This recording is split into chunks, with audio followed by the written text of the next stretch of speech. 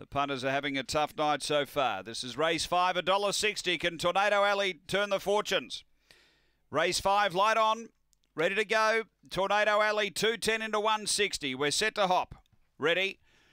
Racing, Tornado Alley out with them. Speed in the middle, Modest Lee. Modest Lee's pushing hard. Tornado Alley, the rail, pushes up, gets the front. So the favourite away to the first turn, Tornado Alley. Through to second, Modest Lee, then Aston Joiner from Winsome, Dylan, Sweet Ella. Uh, next is Dinah Barty from Loggy Bridge and Lloyd Shout, but down the back, Tornado Alley, a big leader. Out by seven lengths here over Aston Joiner. Then Modest Lee, and next is Sweet Ella, but turning for home. And it's all Tornado Alley. Favourite really rocketing along here. Tornado Alley straight stretched on and won it by 10. Second, Modest Lee. Third, Sweet Ella. Then Aston Joiner. Uh, next is Loggy Bridge from Sweet Ella. Uh, then we had Dinah Bitey. It was back toward the tail with Lloyd Shout. Time here is around 29 and 90.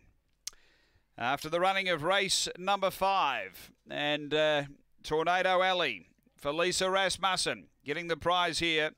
He was never really in any danger. There was some early pressure from Modest Lee, but then he was able to zip through, grab the front, and has been uh, too good here. Number one.